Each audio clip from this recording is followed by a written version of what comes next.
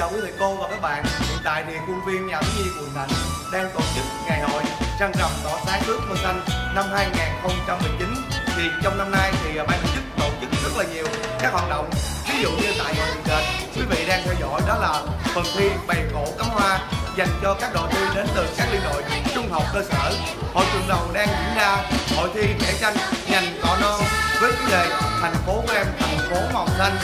Và buổi tối ngày hôm nay sẽ thể hiện phần thi thời trang thiết kế chú trúc bụi và chị hằng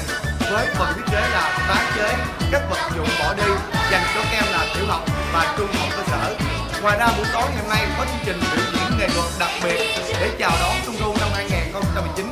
múa lân sư rồng, biểu diễn văn nghệ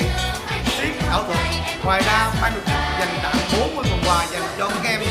hoàn cảnh khó khăn các em là thiếu nhi dân tộc thiểu số. Trên địa bàn quận Thạnh và hơn 400 em thiếu nhi có mặt tại hậu trường nhà thiếu nhi để nhận được 400 phần quà của các mạnh thường quân, các nhà hảo tâm, các thầy cô tổng biệt đội và các bạn đội viên trong lớp để tạo được một mùa trung thu ấm áp, vui tươi dành cho các em thiếu nhi. Trên địa bàn quận Bình Thạnh, năm 2019 và quý vị chuẩn bị đón xem những màn thật đặc sắc trong năm 2019 này nhé xin chào và hẹn gặp lại.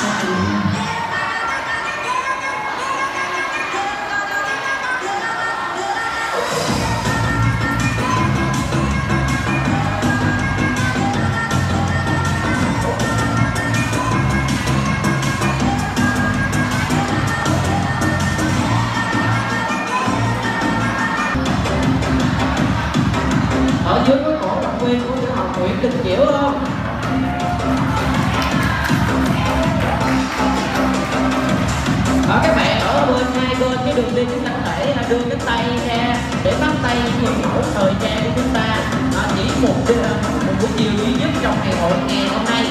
Các bạn mới có thể nhìn nhận được của trang phục đen đến vậy.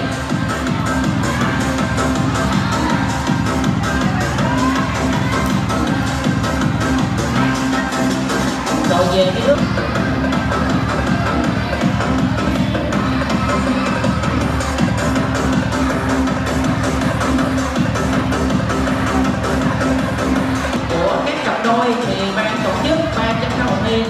còn nhận tiền cổ vũ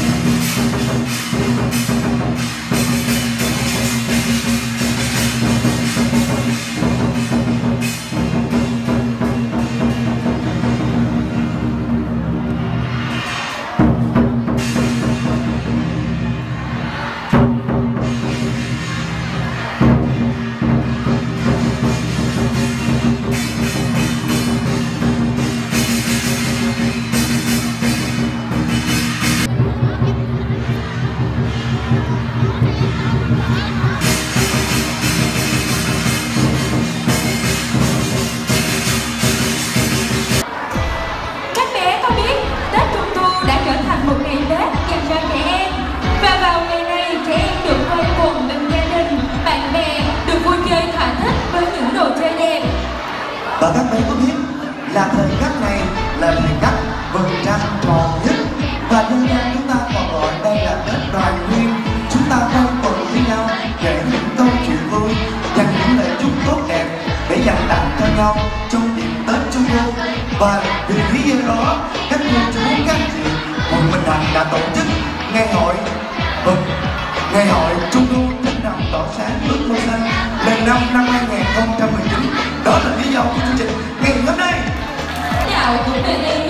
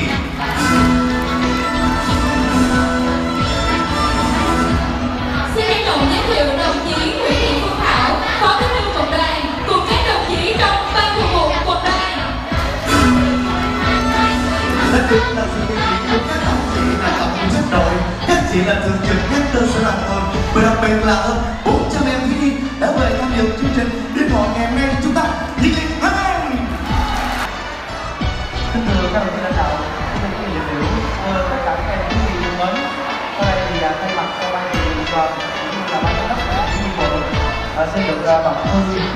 chúc phúc Trung thu của Tổng Bí thư Chủ tịch nước Nguyễn Phú Trọng. Và đến đây, nhân dịp Tết Trung thu cũng xin được trao đổi đến tất cả các em thiếu nhi của gia đình để có một mùa Trung thu thật là vui, đầm ấm bên gia đình và năm học mới 2019 2020 gặt hái được thực hiện thành công và xứng đáng là cháu mang con mang và rất các mong cầu xin con ái là cảm ơn và chào tất cả các bạn nhiều